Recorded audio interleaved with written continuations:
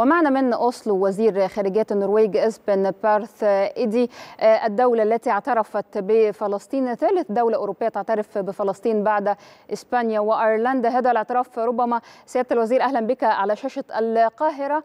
كيف تنظرون لهذا الاعتراف؟ وما الذي يمثله لكم في هذا التوقيت تحديداً؟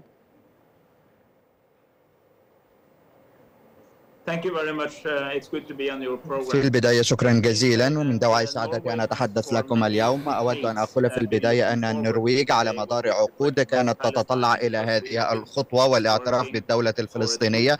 لقد كنا نعمل على حل الدولتين ودعما لهذا الحل جاءت كافة الخطوات جنبا إلى جنب مع كافة الإجراءات الأخرى.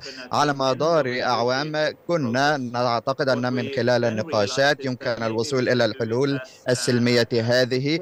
وأيضا رأينا أن هناك دعما كبيرا لهذه الإجراءات في دولة النرويج. وبعد ذلك قمنا بالتعاون مع الدول العربية مثل مصر جمهورية مصر العربية وعدد من الدول العربية الأخرى التي دعمتنا في هذا السياق.